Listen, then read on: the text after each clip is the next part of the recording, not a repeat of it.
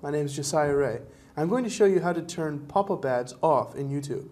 Now the pop-up ads are something I'm sure you've all seen. You go to a popular video or one that's from an official source like a trailer and it'll have a, an ad that plays at the beginning. And on the back side of things, that's actually how they get money, is for you viewing their ads, but it can be really annoying. So I'm going to show you how to turn that off.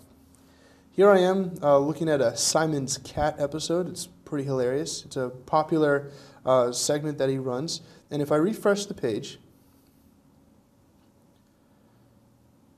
you'll see the first thing that happens is that little yellow bar pops up and it begins playing an ad.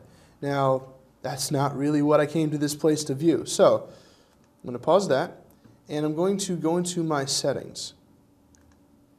And then underneath extensions, I've got this thing called AdBlock Plus installed. And this is a free extension that you can get. It installs in like two seconds. And if you enable it, it blocks the ads that pop up as though they were never even there.